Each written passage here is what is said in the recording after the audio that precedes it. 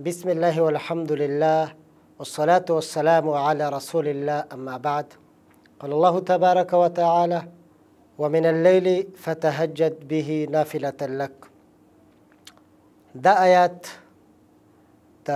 سورة الاسراء یو کم اتیم نمبر آیات دی الله تعالی رب العزت په دې آیت کریمه کې فرمایي ومن الليل فتهجد به نافلة لك وې د شپې چې کوم دی ته تهجد مونځ وکړه چې دا ستا د پاره په نفلو به حسابېږي اولنۍ خبره چې تهجد مونځ څه شی دی او د تهجد د مانځه وضاحت او مفهوم څه شی دی او تهجد مونږ څه فضیلت لري اولنۍ خبره د تهجد ډیر زیات نمونه دي چې موږ تاسو ورته د شپې مونږ وایو د ته قیام الليل هم ویل شي صلات الليل هم ویل شي او د دین علاوه چې کوم دی د ته تهجد هم وایي تهجد مونځ کول د هغه فضیلت څومره دی تهجد په باره کې الله تعالی رب العزت په سورت اسراء کې د دې خبرې وضاحت کړی دی چې ای زما پیغمبره د شپې په څه حصه کې ته خپل رب ته ودرېږه تهجد وکړه نافله لک چې دا ستا دپاره د نفلو درجه لري په دې خبره کې اختلاف دی چې آیا تهجد موږ د رسول الله صلی الله علیه وسلم د پاره فرض دی او کنه د رسول الله صلی الله علیه وسلم د پاره د نفل درجه لري د دې آیات په ترجمه کې او په تشریح کې بعضو مفسرینو د خبرې طرف ته اشاره کړل چې تهجد موږ چې کوم دی د رسول الله صلی الله علیه وسلم د پاره فرض دی او د هم امت په حق کې چې کوم دی د تهجد موږ دا نفل دی لیکن دا خبره لږه کمزوري ده ولی فرض منظوره چې کم دي هغه پنځه دي او تهجد مو چې کم دی اکثر مفسرینو دا خبره ذکر کړل چې د دې آیات په نس باندې دا ثابته ده چې د تهجد مونږ د رسول الله صلی الله علیه وسلم لپاره نفل دی ولی الله تعالی رب العزت وضاحت کړی دی چې دا ستاسو لپاره نبی نفل دی بل طرف ته کومو تاسو وګورو الله تعالی رب العزت په سورۃ الانسان کې فرمایي ومن الليل فسجد له وسبح ليلا طويلا وې د شپې په څه حصہ کې الله تعالی رب العزت ته سجده وکړه دلته کې د سجدې نه مراد د تهجد منځ او د شپې منځ دی وسبحه ليلا طويلا او د خپل رب تعریف وکا او دغه تسبیحات بیان کا هغه پاکي بیان کا د شپې په زیاته حصہ کې الله تعالی رب العزت چې کوم دی هغه د شپې منځ خپل بندګانو نه دا قبلوي په داسې درجه کې چې د فرض پسې چې د مانځه کومه درجه ده نو هغه چې کوم د تهجد منځ دی اوس که یو انسان په فرض مانځ کې د هغه نه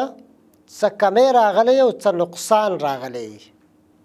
نو دغه انسان به بیا په دغه صورت کې الله تعالی رب العزت د تهجد او نوافل منځونه چې کوم دي دا به اخلي او په دې باندې به د فرض منځونه پوره کوي مشهور حدیث ته پاغه کې راځي چې اې خلکو سل الارحام تاسو سل رحم وفرمایئ واطعم الطعام او تاسو چې کم دی خلکو له غریبانان له خوراک ورکوي وافشو السلام او تاسو چې کم دی سلام عام کوي وصلوا بالليل والناس نيام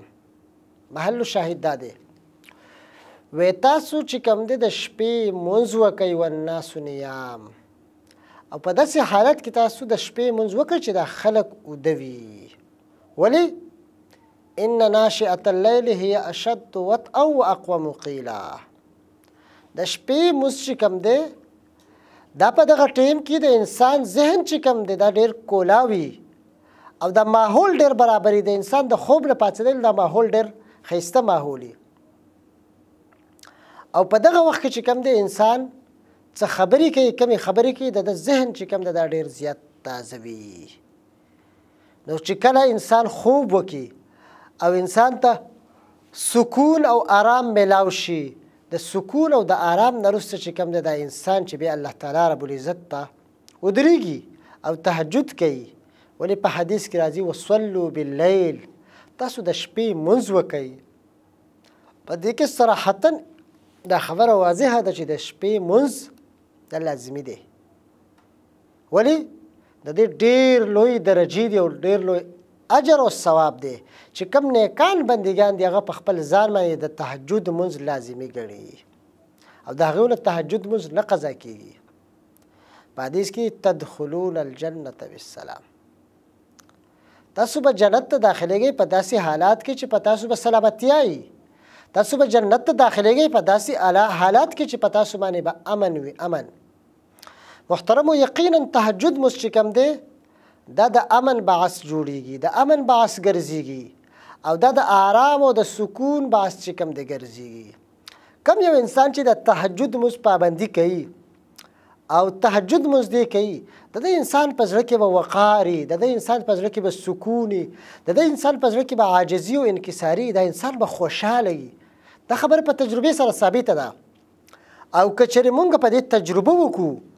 چې د تهجد لمونځ چې کوم دی کوم انسان کوي د انسان په زړه کې څومره چې کوم د خود اعتمادي څومره دا انسان خوشاله د خوشحالي دې له څوک ورکوي الله تعالی رب العزت ورکوي محترمو د تهجد مانځه پابندي چې کوم انسان کوي دا انسان یقینا د الله تعالی والا دی او الله تعالی ته نږدې انسان دی او دغه انسان چې کوم د خپل تعلق خپل رب سره جوړ کړی دی ولی چی الله تعالی رب العزت د دې نه کوم غوښتنه کړل ده او دې نه کوم مطالبه کړل او دې ته کوم آواز کړی دی نو دې د الله تعالی رب العزت هغه مطالبه او هغه آواز ته لبیک ویل دی محترم په حدیث کې راځي چې الله تعالی رب العزت د شپې په اخره حصہ کې چې کم دی اخري اسمان ته راکوزي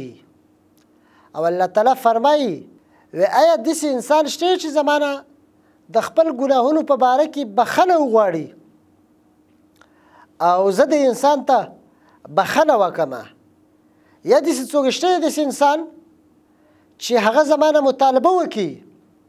او زه د انسان دغه مطالبه چې کم دی دا پوره کما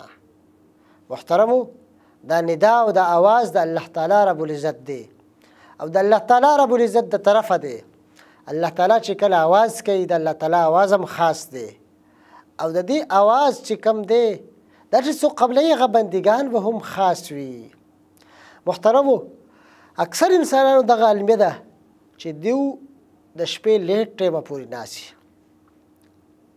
او چې لیټ ټیمه پورې ناس وي نو بیا دی لیټ وده کیږي او کم انسان چې لیټ وده شي بیا د لپاره د تهجد د لپاره خو لوی خبره د انسان د لپاره د سحر مانځه د لپاره پاتېدل هم مشکل شي کم انسان چې غواړي چې هغه تهجد گزاره جوړ شي هغه د پاره دا لازمي ده چې هغه یو دوه درې خبرو باندې عمل وکړي په خبرو کې یو خبره دا ده چې دا انسان به وختي ود کېږي دی به وختي د خوب پابند به وي ولې چې په حدیث کې راځي چې رسول الله صلی الله علیه وسلم به د ماسوتن منځنه مخکې خوب کول دا به بد ګڼله او د ماسوتن منځنه وروسته خبرې کول به دا بدې ګڼلې نو چې کوم انسان ماسوتن مانځه نه روسته بغیر د څه حاجت نه او بغیر د څه ضرورت نه دی نه کینی بلکې دی خپل ټی خپل خوب له دوام ورکوي په داسې حالات کې او په داسې ټیم کې چې دا انسان په اولنی فرصت کې خپل ځان خپل د دنیوي کارونو فارغ کې دی وده شي نو د انسان د بدن ته به آرام میلاو شي سکون به میلاو شي او بیا به دغه انسان تهجد گزار انسان جوړیږي ولی د انسان جسم بدمه شوی محترمو کوم انسانان چې لیټ وده کیږي او زموږ په معاشره کې دا یو عادت جوړ شوی دی دا یو فیشن جوړ شوی دی داسې خلک هم په دې معاشره کې شته چې په پوره شپه هغه یخ وي او سحر مانځه ټیم چې کله راشي نو دغه انسانان بیا وده شي یقینا دا انسان ډیر د تاوان والا انسانان دي او دا ډیر د نقصان والا انسانان دي دیو ته ډیر زیات نقصان ملاویږي ولی چې دې دغه انسانان چې کوم دی دیو بې وخته وده کیږي او بلکې د شپې دیو چې کوم دی اکثر حصه د دیو ویښ وي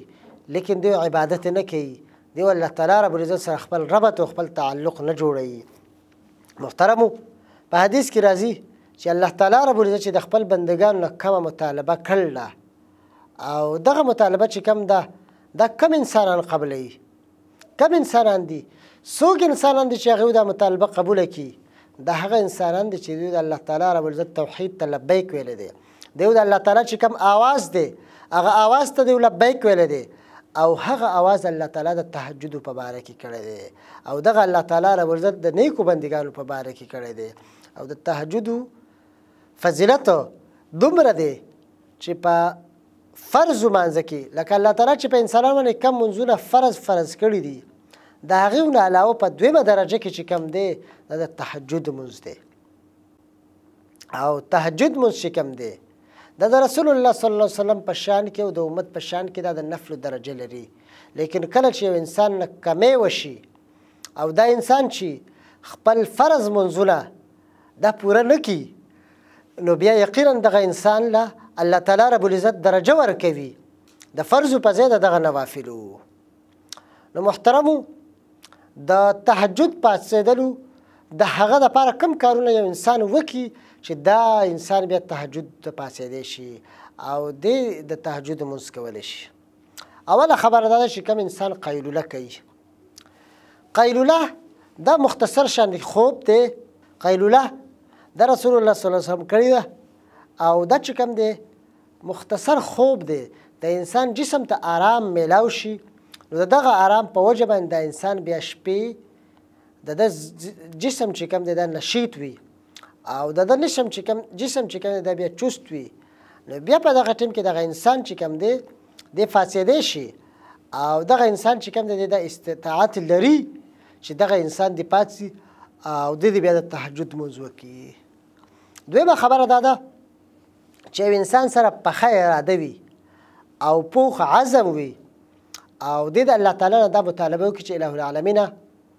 ما د مانزه د پاره چې کوم دی ما را پاسوه او یقینا الله تعالی نه پاسي د تهجد مانځله مګر خپل خواص بندگان کم بندگان چې د الله تعالی نه په صدق دل سره وغواړي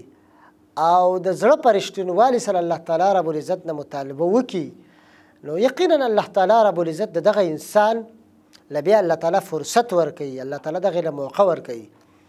او د دغه خبرې چې کم دی که مونږ چا تاسو د دې خبرې په خپل عملی جامه چې کم دی دا مونږ اغوستل غواړو نو یو انسان دی کلک عزم وکړي په زړه کې چې زه به د تهجد مانځه دپاره پاسم لیکن بعضې انسانان داسې چې د هغې خوب ډېر تیز وي او خوب به ډېر زورور وي دې لپاره پاڅېدل مشکل وي نو دې دې الارم ولګوي او بله خبره دا ده چې انسان کله وده کېږي دې اودس وکړي او د اوداسه په حالت کې دې وده شي او کم چې د وده کېدو اذکار دي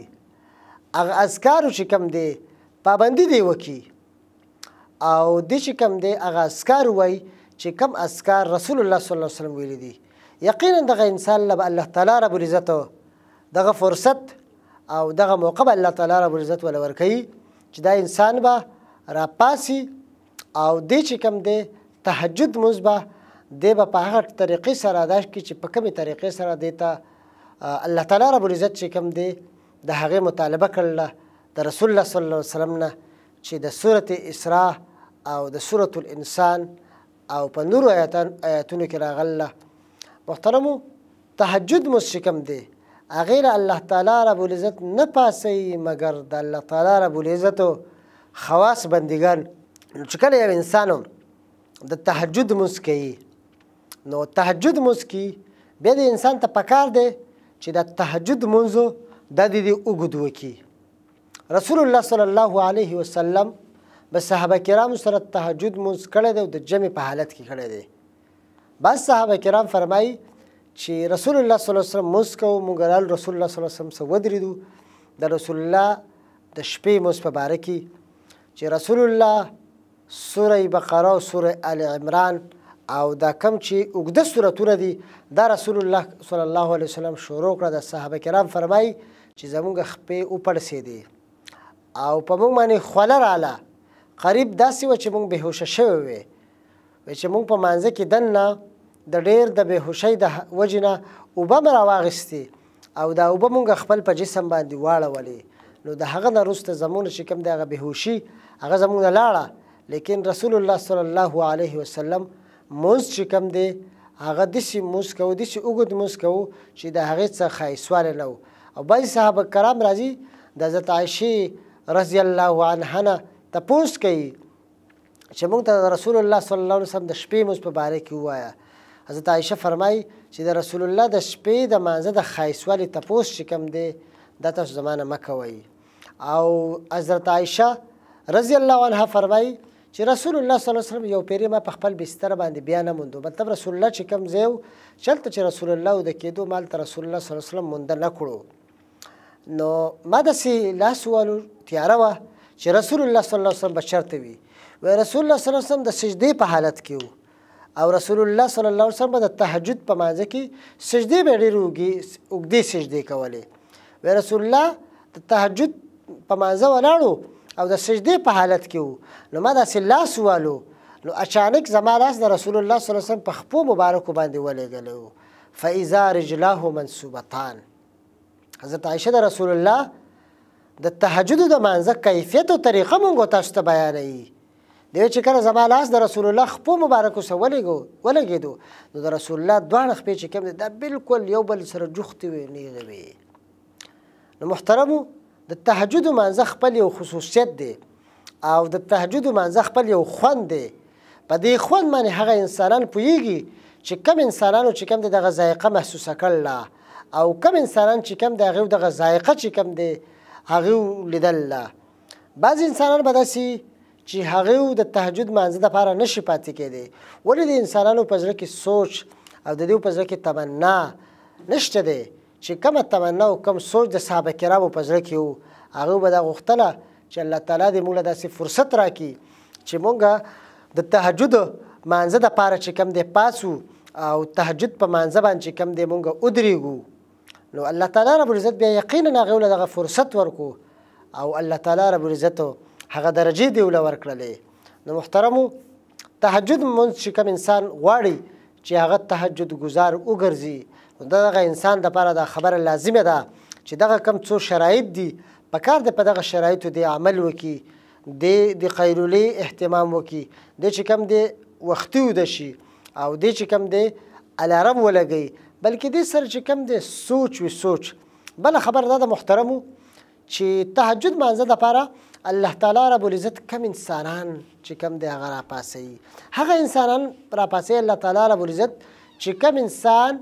انسانان د الله تعالی نه دا غواړي چې دی خپل رب سره هم کلام شي دی خپل رب سره مشغوله وکي او دی چې کم دی خپل رب ته چې کم دی التجا وکي یقینا محترمو دغه خوند تهجد په مانځ کې دی او دا هغه چاته محسوسیږي چې کم انسانان تهجد گزار دي کم انسانان د تهجد پابندي کوي کم انسانان تهجد په هغه طریقه سره کوي چې په کومې طریقې سره نبی کریم صلی الله علیه وسلم او د هغه صحابه کرامو په کومې طریقې سره د تهجد د مانځه اهتمام کړی دی محترمو یقینا د الله تعالی چې کوم خواص بندگان دي هغه بندګان به تهجد مز پابندګي کوي او بعضې داسې انسانان دي چې یو انسان د فرض مانځه اهتمام نه کوي دې ته د فرض د مانځه اهمیت او فضیلت پته نه ده لګېدلې نو دې ته د تهجد چې کوم د فضیلت نه معلومیږي دې ته د تهجد اهمیت نه معلومیږي دا خو خاص مونځ دی او الله تعالی رب العزت خپل خواص بندګان د تهجد د مانځه د پاره پاتوي محترمو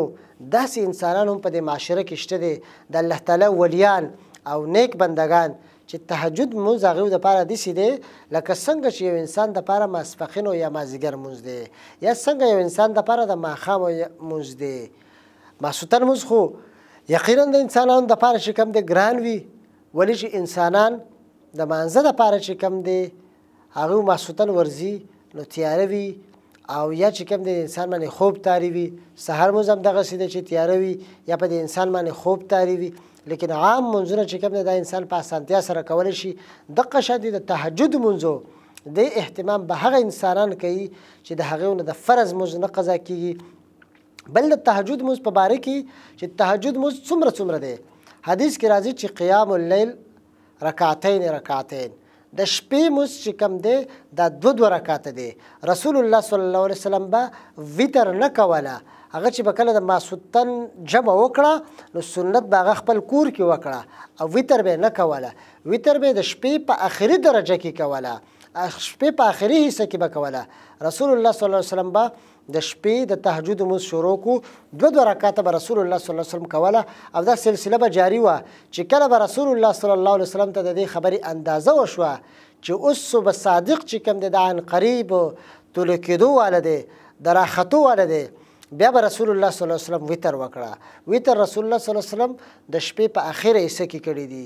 نو رسول الله صلی الله علیه وسلم چې کله ویتر به کوله دا به په اخر کې وکړه د ویتر نه وروسته بیا رسول الله صلی الله علیه وسلم چې کله د سحر موز داخليدو بیا به هغه د سحر مانزه د پاره تیارې شروع کولو نو د شپې موز چې کم دی په دې کې بهتر او افضل دادی چې یو انسان دو دو رکعاته موز وکي بعضی انسانان داسي چې هغه چې کم دی د شپې مستلور رکعاته کوي لیکن بهتره خبره او کم چې د احادیثو ثابته ده دا دی د شپې موز یو انسان دوه دوه رکاته وکړي نو دا افضل دي بل د دې کسانو خاص نخې دي چې کم انسانان د تهجد مانځه د پاره او د شپې د مانځه د پاره پاسي نو د دې خاص نخې دي او د دې چې کم د خاص پہچان دی هغه پہچان الله تعالی خپل ډیر خاص خواص بندگان لور کوي د دې په مخ کې یو قسم نور وي د دې په مخ کې یو قسم سرور او خوشحالي وي نو هغه سرور او خوشحالي عام بندګان نه پیژني دا پیژني هم خواص بندګانو او بل چې کم یو انسان تهجد گزار وي تهجد مانځله پاتسي نو دی د خپل تهجد مزدا دي د ریاکارۍ نه او دا چې کم د ځان خودن نه دی پاک وساتي ولی یو انسان پاتسي خپل ځانم وکړي او د تهجد منظم وکي لیکن دغه نرسته چې کم دی بیا دغه انسان چې کم دی ریاکاری کوي نو په دغه ریاکاری باندې د دغه انسان دا موز چې کوم دی دا بیا ضایع کیږي او دا انسان د خپل موز تهجد موز د دې پر یاکاری باندې نه ضایع کوي بلکې د تهجد موز چې کله وکړي د دې هغه پټ کی نو یقینا دا د الله تعالی د خواص بندګانو نه خده او دغه څه چې ویل الله تعالی رب العزت دی په دې موږ له عمل راکړي او موږ ټول دی الله تعالی رب العزت تهجد گزار جوړ کړي واخر دعوانا ان الحمد لله رب العالمین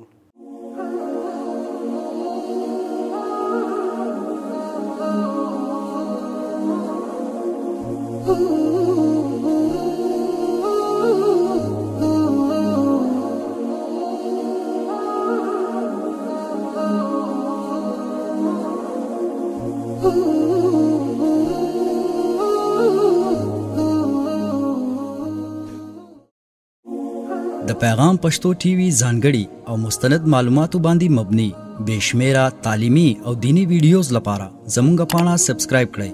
او زمونږ د نوي ویډیوز نه د اپډیټ لپاره په بیل آیکن کلیک کړئ